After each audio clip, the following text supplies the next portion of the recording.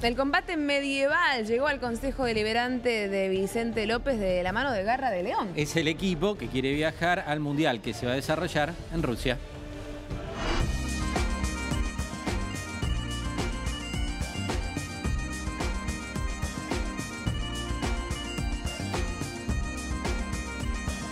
Eh, yo soy un deportista de toda la vida, sigo entrenando deportes de alto rendimiento todavía y, la verdad que me encantó la propuesta, la idea, hasta casi para entrenar también con ellos.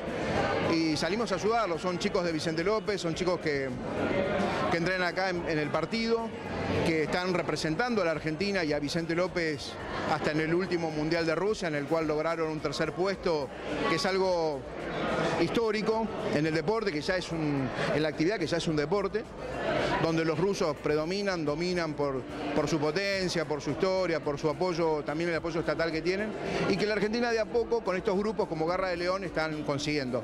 Creo que el deporte encarna todo, encarna la caballerosidad, el sacrificio, el esfuerzo, el trabajo en equipo, y me parece que es muy importante en estos tiempos.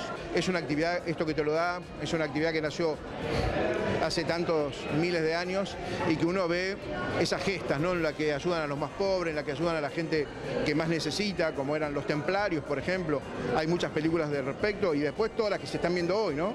El último reino, vikingos, eh, Rey Legítimo, son películas realmente que encarnan toda esa historia y está bueno para de alguna manera replicarlo también en el día a día.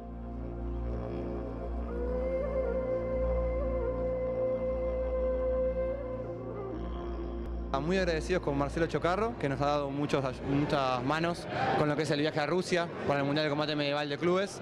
Y con esta que es nuestra primera gala, no solo a nivel club, sino a nivel deporte de combate medieval. Creo que es la primera gala del, del deporte en Argentina.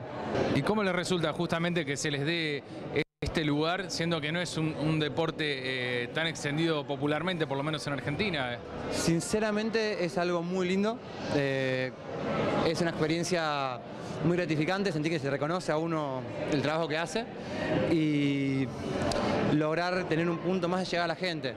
Hoy en día nosotros somos un equipo más de 25, 26 que hay en el país, ¿sí? y poder mostrarles a la gente lo que es nuestro equipo, lo que nos cuesta conseguirlo, de qué se trata nuestro deporte es algo muy muy importante para nosotros.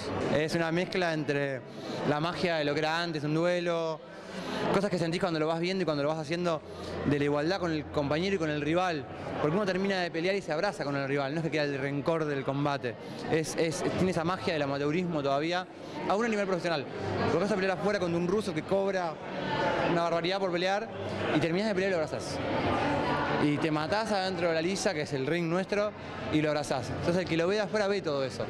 Y vos hablás con la gente y te lo preguntás y sí, se lo transmitís, eso es muy lindo.